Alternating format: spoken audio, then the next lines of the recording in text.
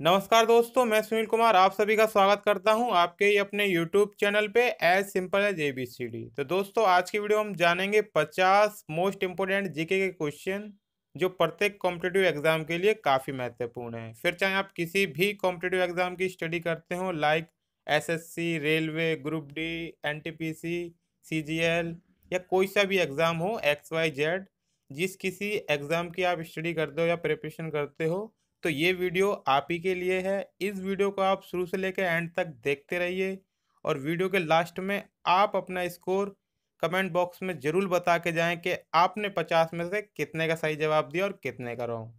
यहाँ पे प्रत्येक क्वेश्चन के लिए दो से तीन सेकंड का समय दिया जाएगा सोचने का, उसके बाद आंसर बता दिया जाएगा।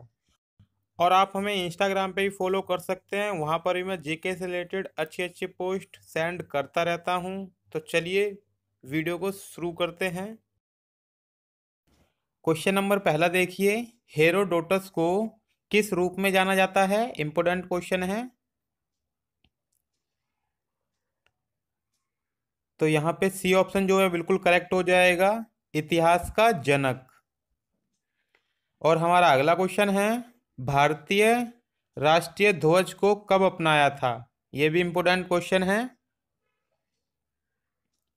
यहाँ सी ऑप्शन जो है बिल्कुल करेक्ट हो जाएगा 22 जुलाई उन्नीस को।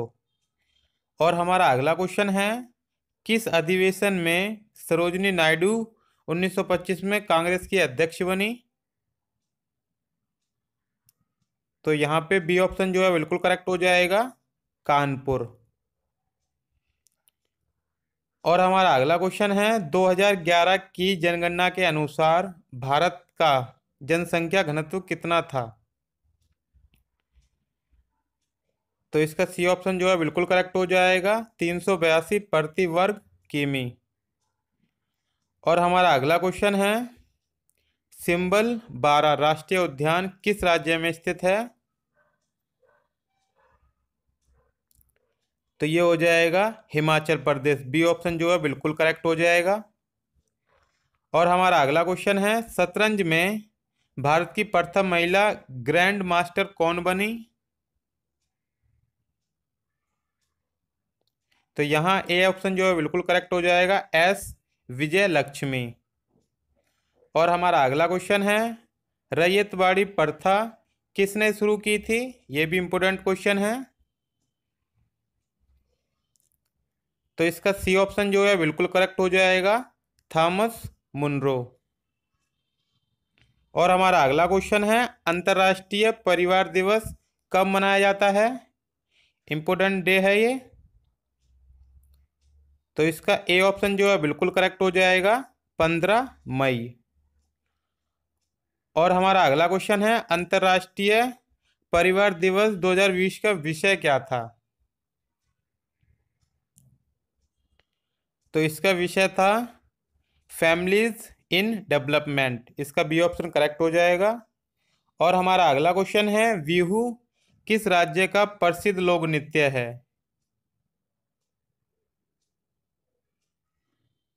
तो इसका ए ऑप्शन जो है, बिल्कुल करेक्ट हो जाएगा, असम।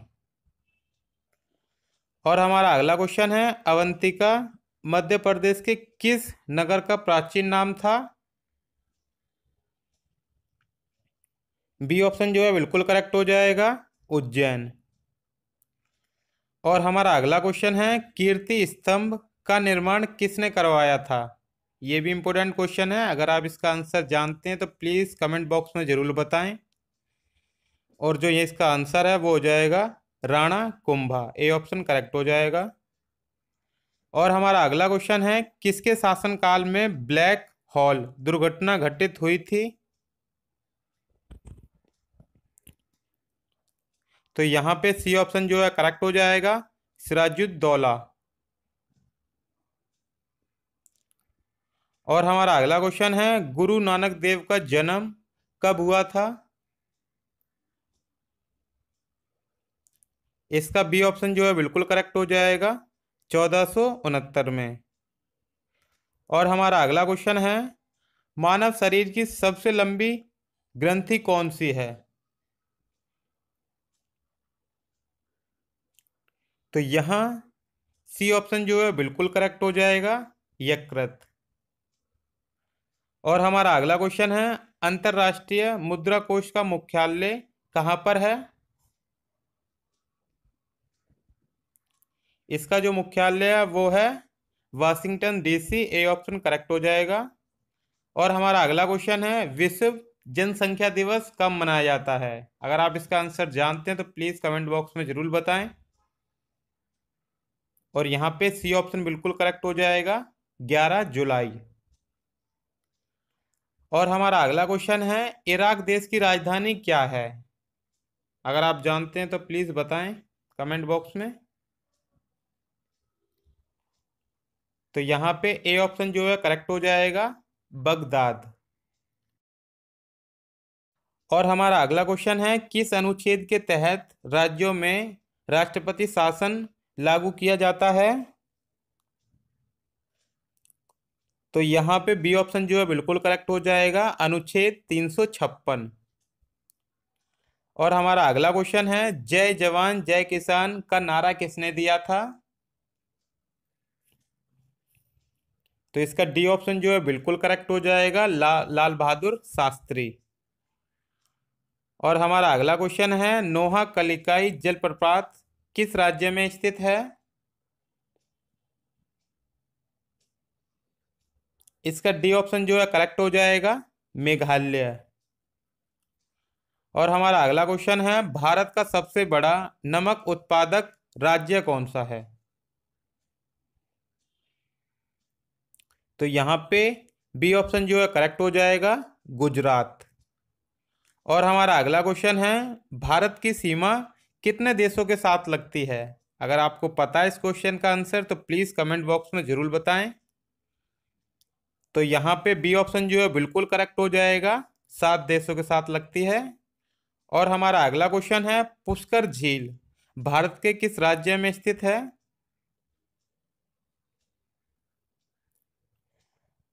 तो इसका ए ऑप्शन जो है, बिल्कुल करेक्ट हो जाएगा। राजस्थान। और हमारा अगला क्वेश्चन है, सचिन तेंदुलकर ने अपना सोवा शतक किसके खिलाफ लगाया? तो यहाँ पे डी ऑप्शन जो है करेक्ट हो जाएगा। बांग्लादेश के खिलाफ बनाया था सोवा शतक। और हमारा अगला क्वेश्चन है, किस विटामिन की कमी से रतौंदी होता है?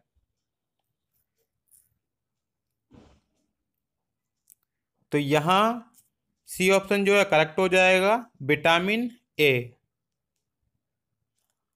और हमारा अगला क्वेश्चन है, किस रोग को हनु स्तंभ भी कहते हैं?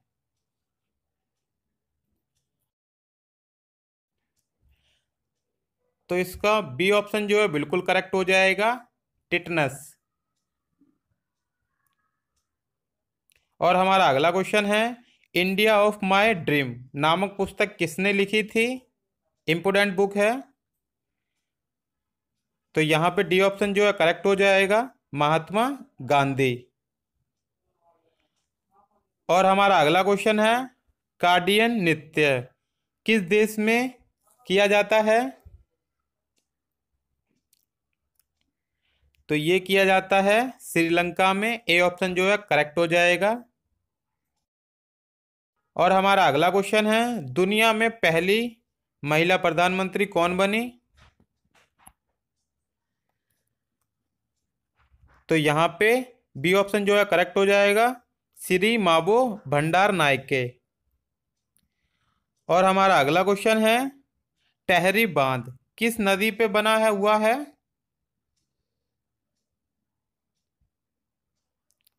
तो इसका ए ऑप्शन जो है करेक्ट हो जाएगा, भागीरथी नदी पर। और हमारा अगला क्वेश्चन है, बिहार से अठारह सौ सत्तावन के विद्रोह का नेतृत्व किसने किया? डी ऑप्शन जो है करेक्ट हो जाएगा, कुंवर सिंह। और हमारा अगला क्वेश्चन है, सार्क की स्थापना किस वर्ष में हुई थी?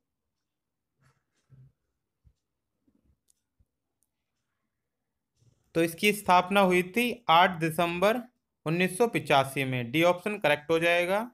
और हमारा अगला क्वेश्चन है, वर्तमान में झारखंड के मुख्यमंत्री कौन हैं?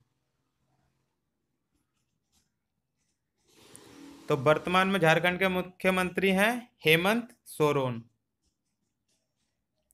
और हमारा अगला क्वेश्चन है, सोमनाथ मंदिर किस राज्य में स्थित है?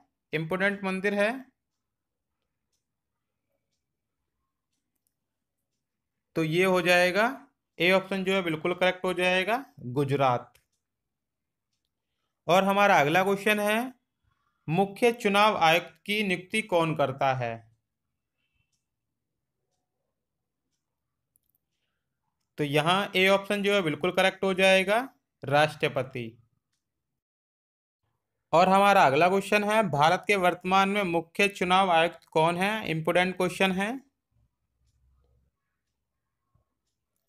तो इसका सी ऑप्शन यहाँ पे बिल्कुल करेक्ट हो जाएगा, सुनील अरोड़ा। और हमारा अगला क्वेश्चन है, डायनमो का आविष्कार किसने किया था?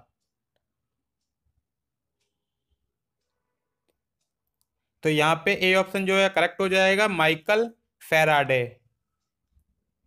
और हमारा अगला क्वेश्चन है, जिब्राल्टर, जलडम मध्य किन दो देशों के बीच है? तो यहाँ पे सी ऑप्शन जो है करेक्ट हो जाएगा मोरक्को और स्पेन। और हमारा अगला क्वेश्चन है, विश्व का सबसे बड़ा यूरेनियम उत्पादक देश कौन सा है? तो यहाँ पे डी ऑप्शन जो है करेक्ट हो जाएगा, कजाकिस्तान। और हमारा अगला क्वेश्चन है, शिव समुद्रम जलप्रपात किस नदी पर स्थित है?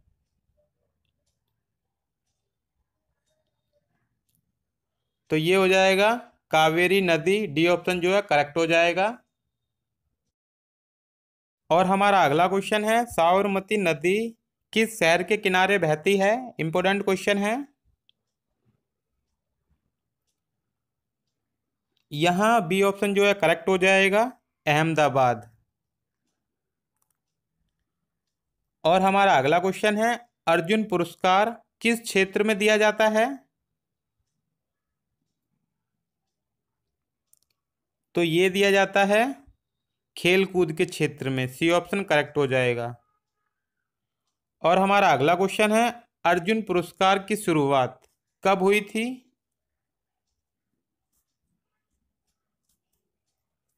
तो अर्जुन पुरस्कार की शुरुआत हुई थी 1961 में। ए ऑप्शन करेक्ट हो जाएगा। और हमारा अगला क्वेश्चन है, शरीर का तापमान किसके द्वारा नियंत्रित किया जाता है? तो इसका सी ऑप्शन जो करेक्ट हो जाएगा हाइपोथैलेमस और हमारा अगला क्वेश्चन है, पाँच नदियों का राज्य किसे कहा जाता है? अगर आप इसका आंसर जानते हैं तो प्लीज़ कमेंट बॉक्स में ज़रूर बताएँ। और जो इसका आंसर है, वो हो जाएगा पंजाब बी ऑप्शन यहाँ करेक्ट हो जाएगा।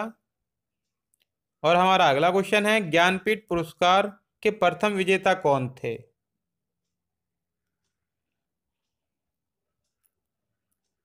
इसका ए ऑप्शन यहाँ बिल्कुल करेक्ट हो जाएगा, शंकर क्रूप।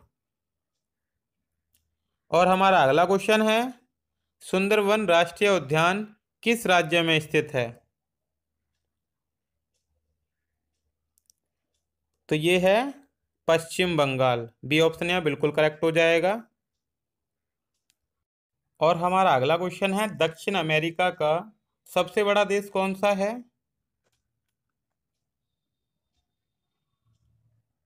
तो इसका बी ऑप्शन जो है करेक्ट हो जाएगा ब्राज़ील सबसे बड़ा देश है। और वीडियो का लास्ट क्वेश्चन है, जामा मस्जिद का निर्माण किस मुगल शासक ने करवाया था? इसका आंसर प्लीज़ कमेंट बॉक्स में भी बताएँ। और जो जामा मस्जिद का निर्माण करवाया था, वो करवाया था शाहजहां ने। सी ऑप्शन करेक्ट हो जाएगा। और इसी के साथ ये वीडियो समाप्त होती है। अगर आपके कोई भी डाउट्स हो, इस वीडियो से रिलेटेड किसी भी क्वेश्चन में कोई प्रॉब्लम हो तो आप हमसे कमेंट बॉक्स में पूछ सकते हैं। अगर आपको वीडियो अच्छी लगी तो प्लीज़ यार एक लाइक कर दो और एक शेयर ज़रूर कर अपने मित्रों में। इसी के साथ, जय हिंद, जय भारत।